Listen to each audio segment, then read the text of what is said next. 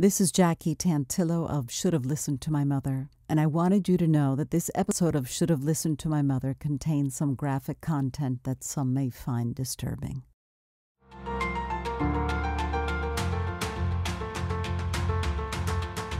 Hello and welcome to Should Have Listened to My Mother. I'm Jackie Tantillo.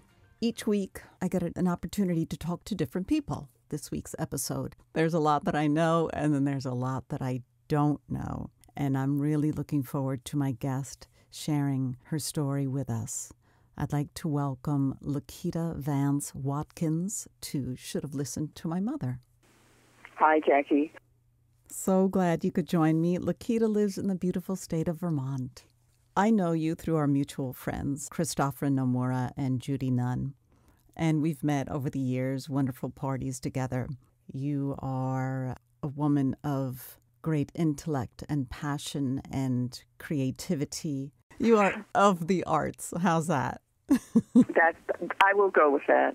But I want to find out what went on when you were a little girl and in your household, what your life was like as a little girl growing up, and how did you become the person you are today? Was it in spite of or because of what your childhood was like? Where were you born? Wilburton, Oklahoma, a mined out coal mining town in southwest uh, Oklahoma, about 20 miles from the county seat of McAlester. And how long did you live in Oklahoma? Uh, 10 years. And do you have siblings? No. Mm-mm. What is your mother's name? Mildred. Did you live with your mother and father? No. Uh, my mother, uh, unmarried 18 year old, and she left me with her mother when I was about 18 months old. And she went to California, and she left me with her mother who was a very cruel and violent person. And my mother knew that when she left me there. And, you know, the family stories of are of her and her sisters, her mother beating them. I mean, we're talking about really serious beatings. And so my mother left me there and in that situation, and that's where I was uh, until I was 10 years old. So your mother, Mildred, was raised by a mm-hmm. woman who was violent and abusive. And she yes. knew that clearly because she was abused as a child and she left you knowingly yes. with the same mm-hmm. situation. Mm-hmm. Yes. So, um, was there a grandfather present?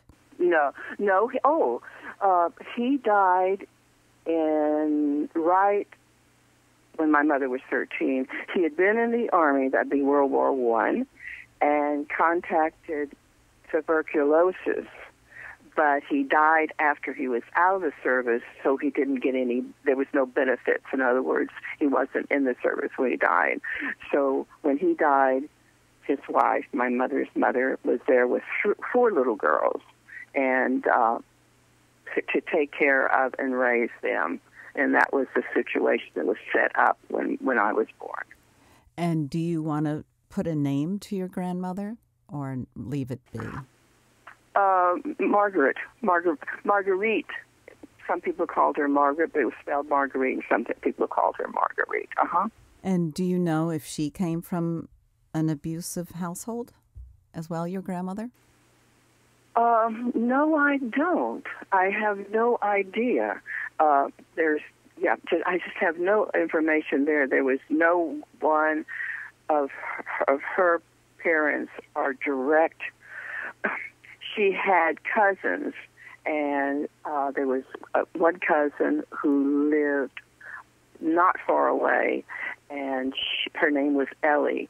So she would have been a great aunt, and she was really a nice person, not like not like my grandmother.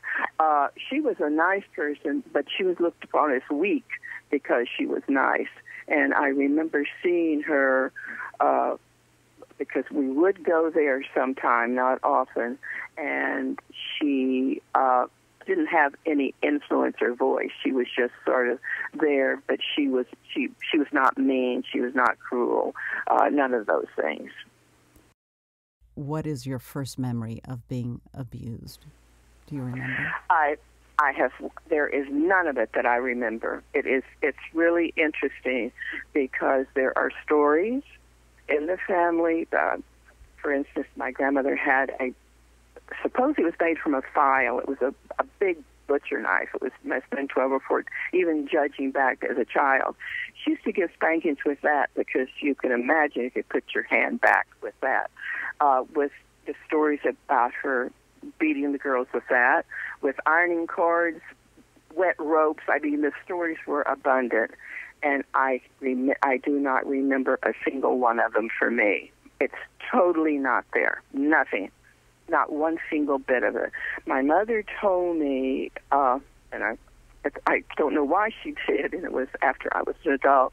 She had come to visit, and my I was must have been. She said two, but she had left when I was 18, so I must have been between two and three. Why she had come back for a short time, I do not know.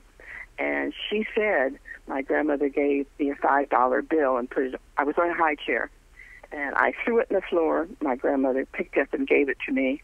I threw it down again. She said my mother, my grandmother started beating me.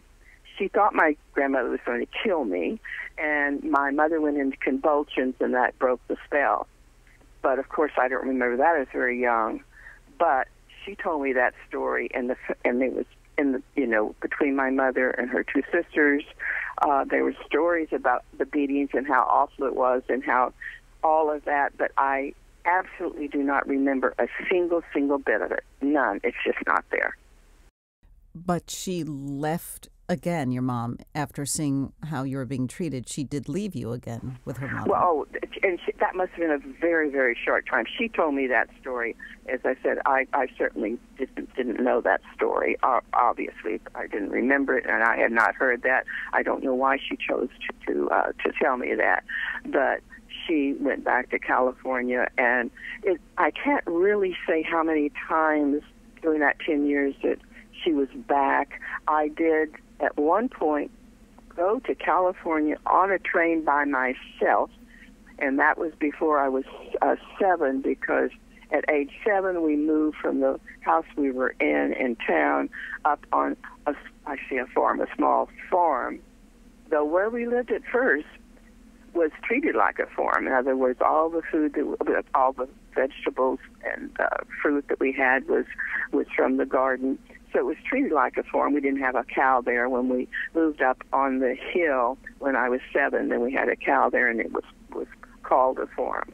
But and we had chickens. We had chickens both places, and uh, so sometime before I was seven, I did go on a train by myself to California.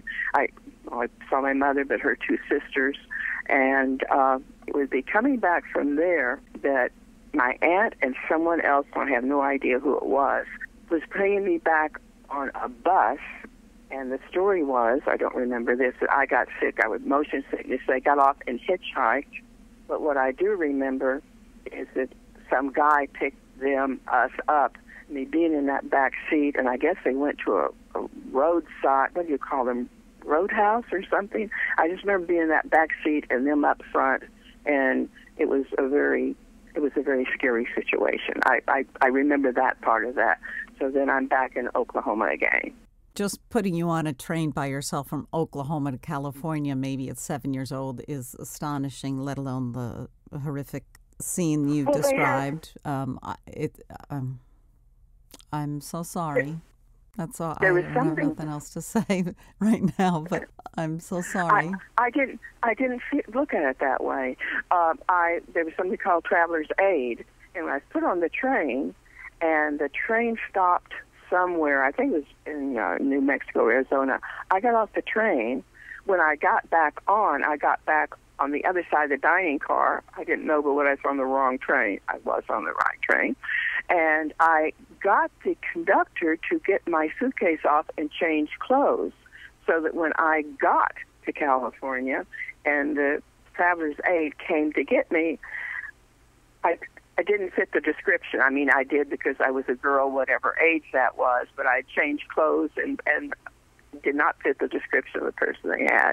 And then I was there with uh, my aunt Ruby was in California, and uh, there was some time there, and I I'm assuming I saw my mother, but it was the aunt, the, the aunt that I went to first, my Aunt Ruby, to Aunt Viola, and it was Viola and someone else that was bringing me back on the bus when uh, we got off the bus, and whoever the driver who picked us up, that was uh, on that trip when I was returning. So you still, your mom just couldn't deal with raising you herself? Um, she didn't. I mean, I uh, she it was never talked about in those terms. That's just the way it was. And before that one, that trip I told you about on the train, when I was quite young, uh, so maybe four or five, I have no idea again why I wound up in in California, but my mother's supposed to be taking care of me. It just didn't work. Mm-hmm. She, uh, my aunt Ruby was babysitting me. My mother came in and she loved to go dancing. And my aunt had been ironing all day in the heat, didn't iron my mother the clothes that she wanted to go dancing. So they got in a fight, and that left me without my Aunt Ruby take care of me. And my mother had a friend who had a little girl about my age. We were at her grandparents for a while, and then my mother put me in what I don't know what else to call, but a home. And, uh, I mean, a, where there were other children. And uh, I there was a little boy there younger than me. I must have been four or five, and I remember he called me mother. That's interesting because our mutual friend said that I mothered other people. I've never thought of it that way. It just, from the very beginning, that was just natural to me. And uh, after I went to Houston at 10, somewhere in that first year or two, I uh, took care of three children, the mother and father. They had a fourth child who was in an iron lung with polio. And I took care of her three kids while she would go to the hospital and visit. Okay, I just so fell that's... into that role. I fell into that role naturally. Because you were probably longing for a, a little bit of that nurturing uh, love no. and affection that it you just your heart was so big. I guess that's the first inclination was to go and help little other little children. It did none of that. You know, none of that. It's just I could say it was natural. Mm-hmm. I told you when we were talking the other day about me standing in that little house in Oklahoma and knowing there was more, and then eventually, as things after I went to Houston, uh, that that more was the arts. And when I say I knew more, I don't mean that it meant it was a bigger house or better furniture or anything material. The more was the vastness of what is possible. That that's what I felt. Once again, not oh, I never thought at all about my own room or anything like that, or having uh, you know we didn't have running water there. We had a little tap off the back porch where we got uh, just you know w- water. So, uh, but I never thought it in those terms. It just naturally there was a some uh, after I went to Houston that was then I was with my mother, and so that was another chapter that was not all that great. So at ten years old, all of a sudden you're going to Houston to be with your mom. My grandmother fell on the ice in February when I was 10 and broke her uh, elbow. And at that point, it could be fixed straight or bent, but she would never be able to move it again. Couldn't work the form, and she said, Go call your mother to come get you. And I did. And in things I can't remember, what I've left out of here, the only thing I had, the only companion, the only other person in my life was my little dog, Snowball and he was the very same age as I was. Got him just at the time that I was born, and uh, I can't remember telling Snowball goodbye. I can't remember any of the the punishments, any of the beatings. I can remember none of that, none. And I can't remember telling Snowball goodbye. But that must have that must have been also a pretty big and traumatic and awful thing. Oh, that's an awful lot for a little a little one. You tell me, is it a blessing or a curse that you don't remember the beatings and the brutality? You know, I've never thought of it in those terms. In fact, I never thought of it at, in those terms at all until we, we started talking about this.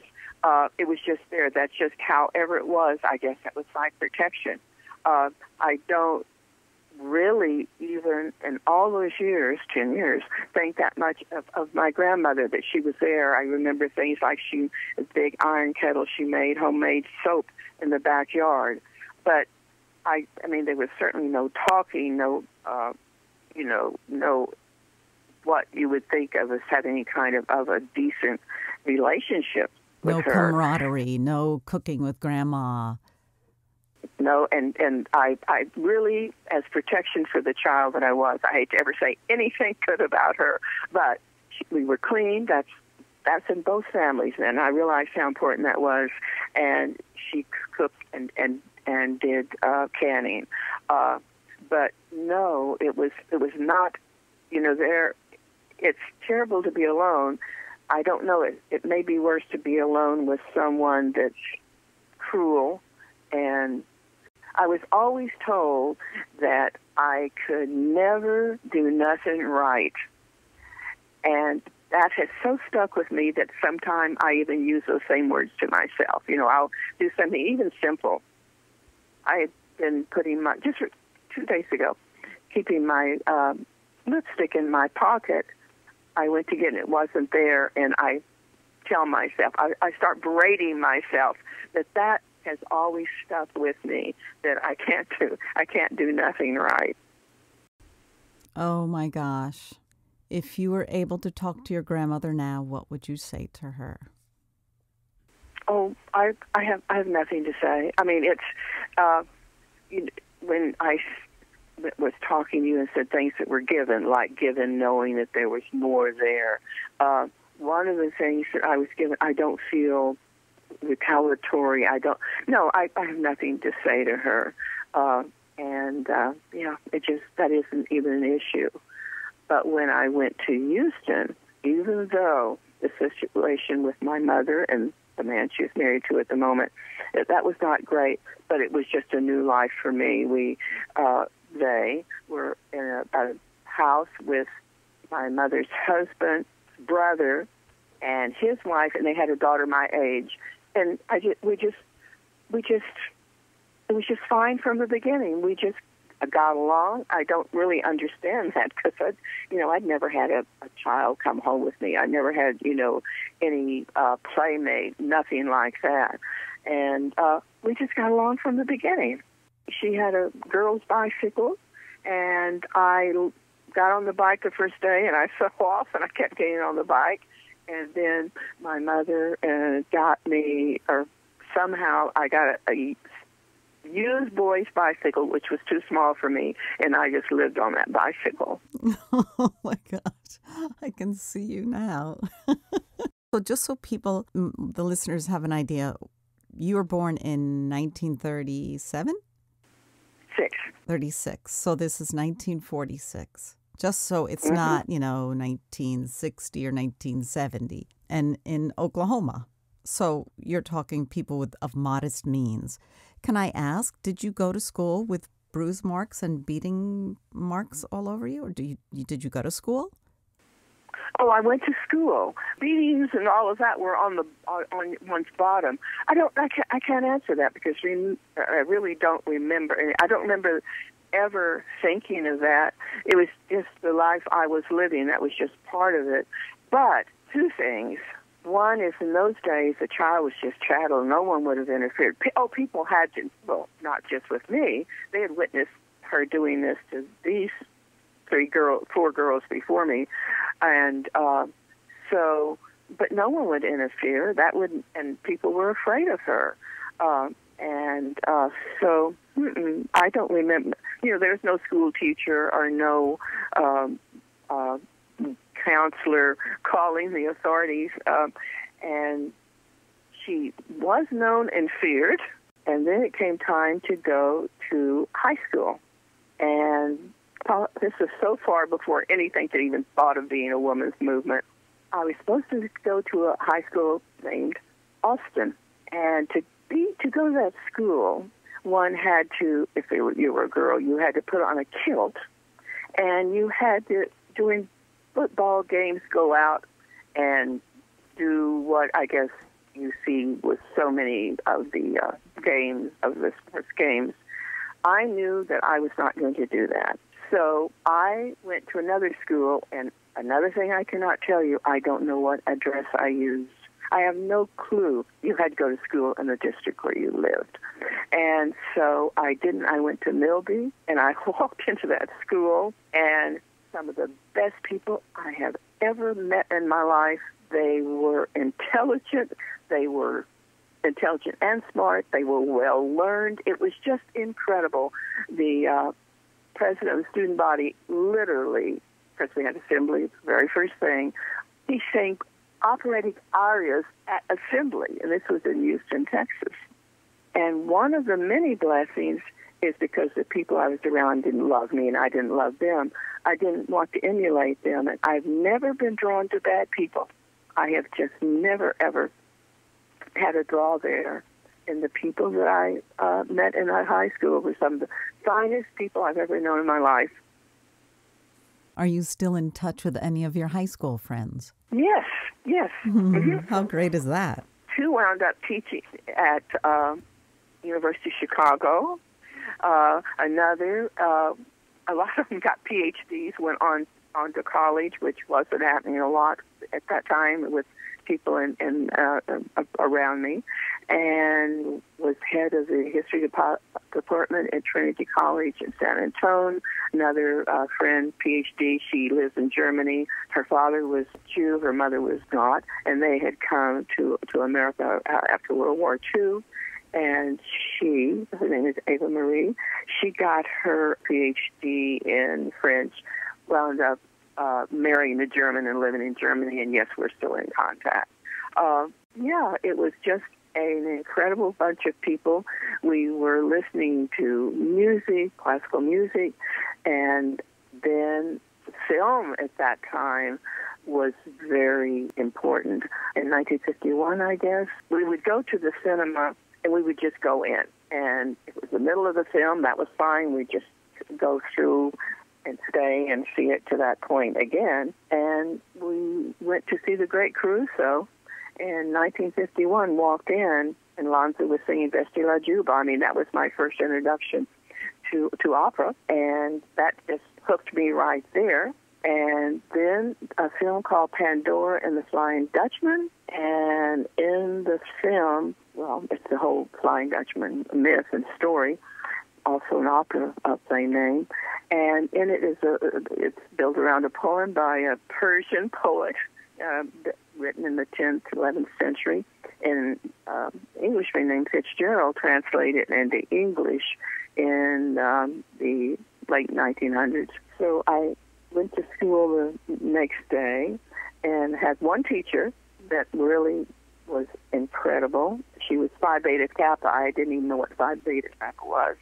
And I said, How can I find this poem? I said, What is it? She said, I won't tell you what it is, but I'll show you how to find out. She took me to the library and showed me how to look it up.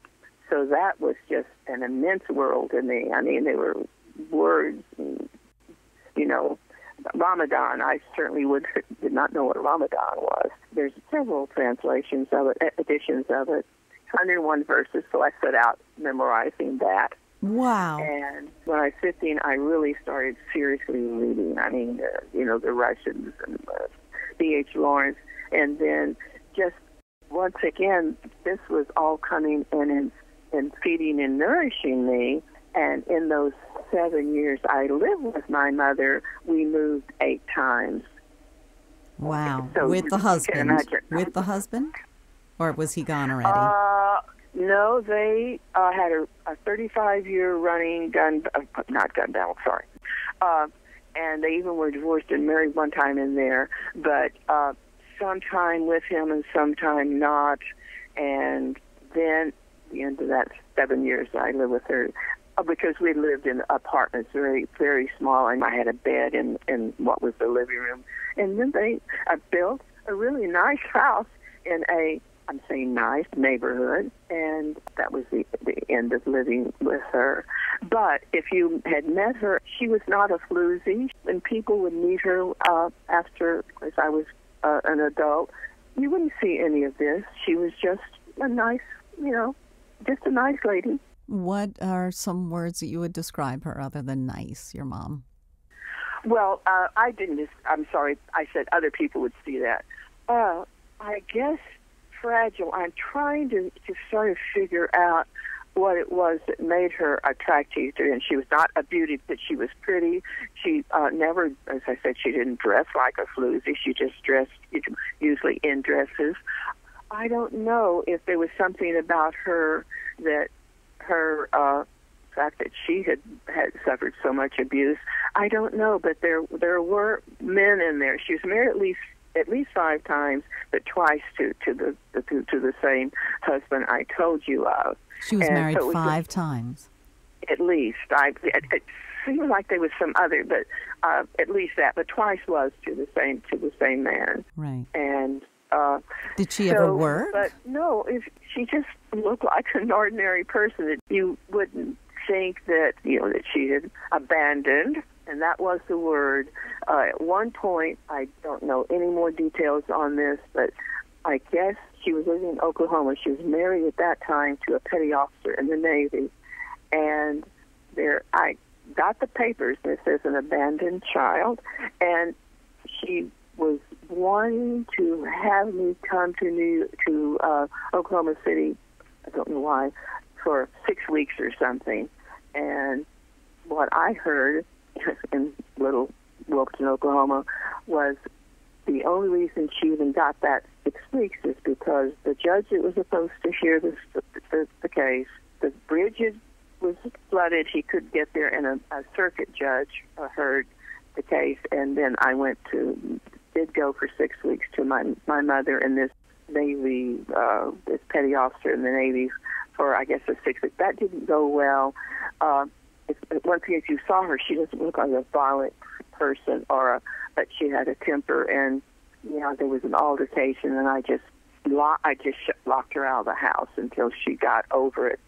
Uh, another one of my blessings was I never ever wanted to be retaliatory. I never felt any desire to hurt her, uh, and I think that that is one of the great blessings of, of all.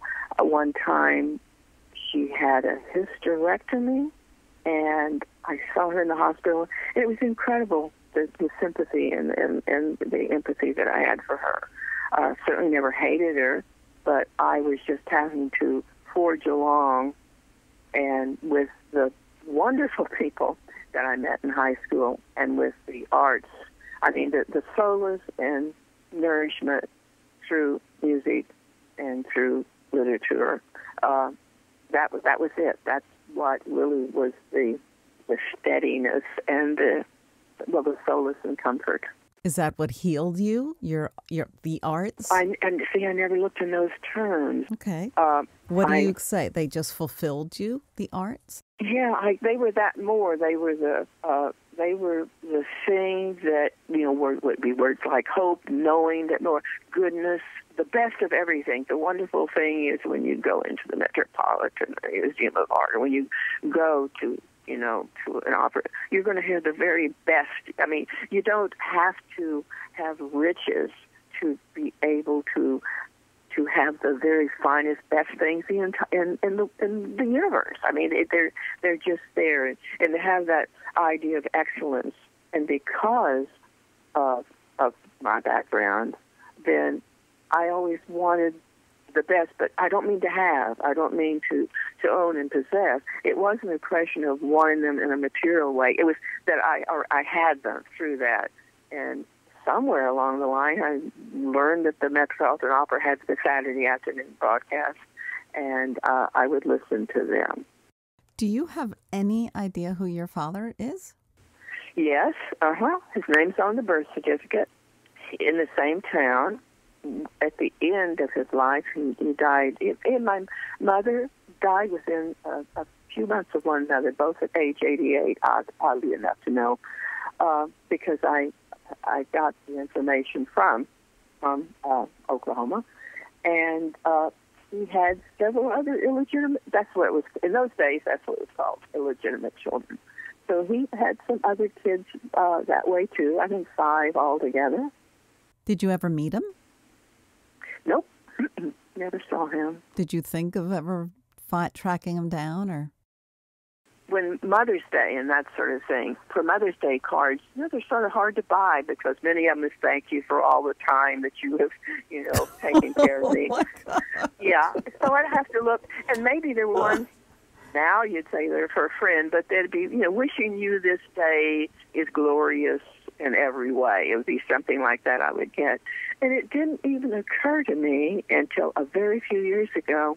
I didn't even think about that for Father's Day card, it was never, ever, ever in my life at all. Well, you didn't have a father, you didn't have a grandfather. Who was a male role model to you? Male or female, I think I mentioned when we talked, uh, when you and I first talked. I can't, I can't think of the first adult role model I had. I guess if we talk about role models, it would be those people that I met in high school. I there, I can't think of this. Never had a mentor. Um, never had anyone close that was an adult. A teacher, a writing teacher, a music teacher. The one teacher, this Mrs. Mohle, was an incredible woman. She was so far ahead of her time. What? How do you spell your teacher's name, LeQuita? Her name was Eula, E U L A, Eula, middle initial P, Mohle, M O H L E. And you remember this as though it were yesterday, this woman's name. Yep. And she went to California and she sent me a postcard. Now, maybe she sent everyone. I don't know. She says, You're one of the people that I thought would enjoy this or something. And that was just, but again, I just took that in stride. I didn't, maybe it was bigger than I knew it was. Maybe it wasn't big at all but she certainly seemed, I'll use the word respect, and I just couldn't believe. I mean, she was of uh, she was of the intellectual level of these students I was telling you about, uh, and she had us reading fine things, and she, uh, as I said, she, she was Phi Beta Kappa and wore the Phi Beta Kappa T, and I didn't even know that such an organization existed. So you would hang out with your friends and listen to all this amazing music and poetry and opera and, and talk, then and, and talk, and talk and talk and talk. So then, did you dread going home? Oh, I was so much on my. Oh, you can, I can imagine with with this running uh, uh, thing that my mother and her husband was having, moving all that time, and then when I was fourteen, I started working, and but I was really I say taking care of my, myself. I remember I got it turned out to be uh, mastoiditis. I remember I took myself to the doctor. I can't remember anything. I, I, I was doing all that on my own, and I just did it. It was just like if you told me you'd gone to the dry cleaners today. I mean, so it was 14, just that. I just, at 14, you took yourself to the doctor. You knew that something was wrong and you had to go to the doctor. So you took yourself. Yeah and it was it was behind it did mastoid there right behind your ear and it was really really painful um but i don't remember ever any you know that being any, anything that i would have done with my i don't know how the bills got paid for that i don't know if i did that uh but uh i was on and i started driving early and i have no idea why how early 16 15 13 13. You said you got your first job. What was your first job? Working in the produce department in a uh, grocery store. Did you get fed at home, or were you always hungry? Oh, I was never. Oh, I, oh, I was never hungry. But, but, but, but, right after I went to Houston, um, I was described as looking like a drowned rat. I only weighed 68 pounds. There was meals served, but I was told I should be so grateful that I was being fed and a roof put over my head that it was so resented that I I say I didn't eat. I'm I'm putting that all together from this distance. But um, well, who said that I, to you? You should be so grateful. Your mom? My my mother and the man she's married to. Right, that you don't need to eat. You should be so grateful for everything else we're giving you. No, no, no, no, didn't. No, no, the food was there. I'm saying I couldn't eat because it was so it was so resented that I felt that I.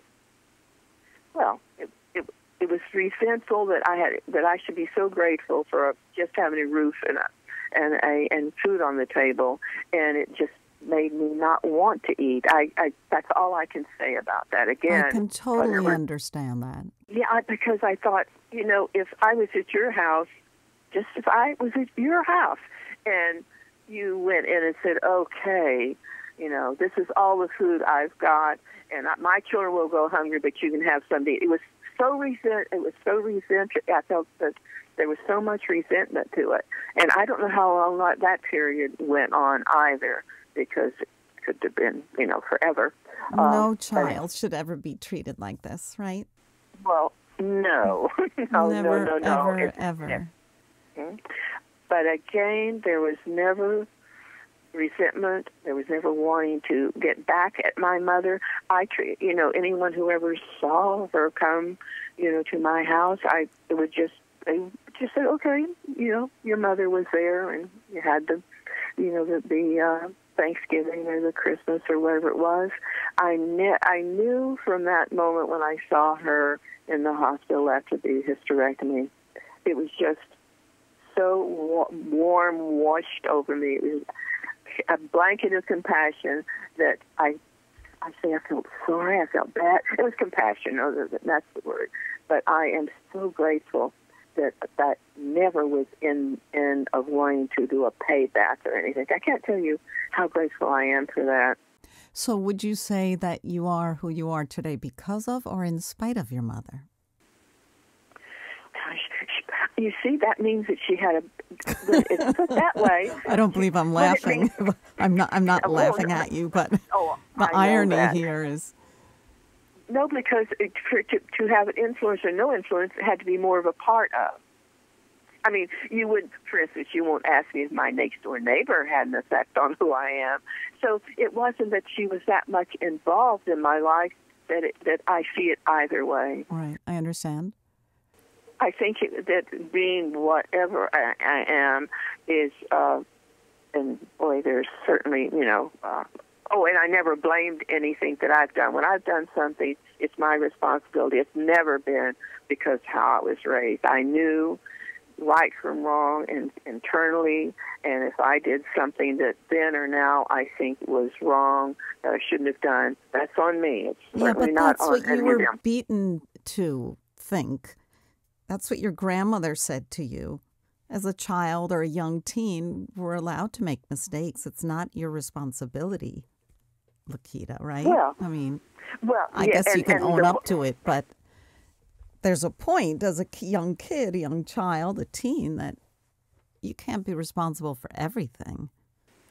No, and I'm and I don't mean that. I'm defending I, I, you. I mean, I, I mean oh, thank you. Oh, oh, good. You do.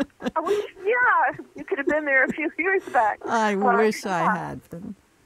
No, I think what I uh, oh, no, I know what I'm saying there is that as an adult, but to go back, no, no, no, no, no. I will not let anyone off for what was done to that child because then I'd be abusing that child again. I'm really clear on that.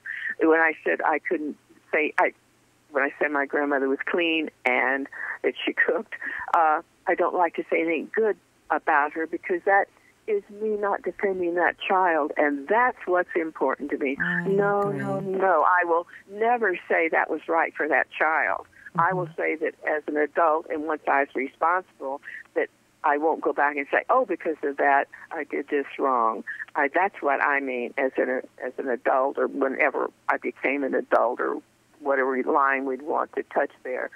But I do not know. I don't let them off the hook for any of that.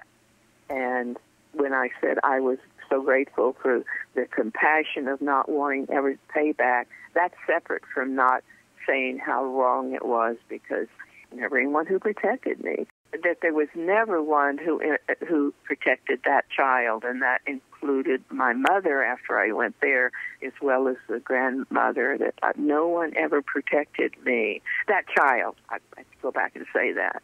Uh, no, so I no, I don't let any of them off the hook for that. I'm just saying that I do not. I take responsibility for truly everything that I do now and have done since I was whatever age we want or look at is saying, okay, this is when it was was on me. So no, that's not an excuse. Whatever has happened to a person, it's not an excuse.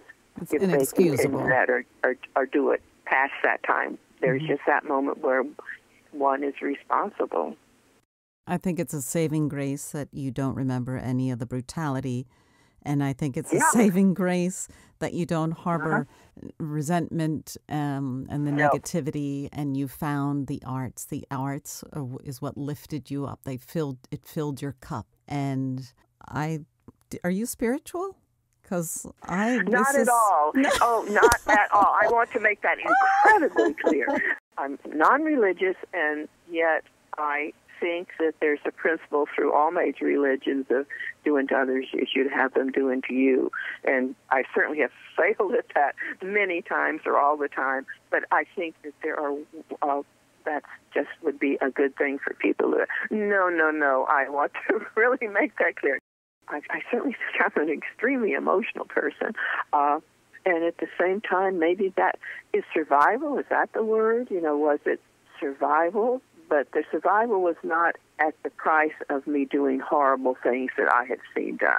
It wasn't by uh, repeating and uh, and and replicating what what I had seen that I certainly knew was not right. Well, thank goodness for that. Yep, yep. Mm-hmm.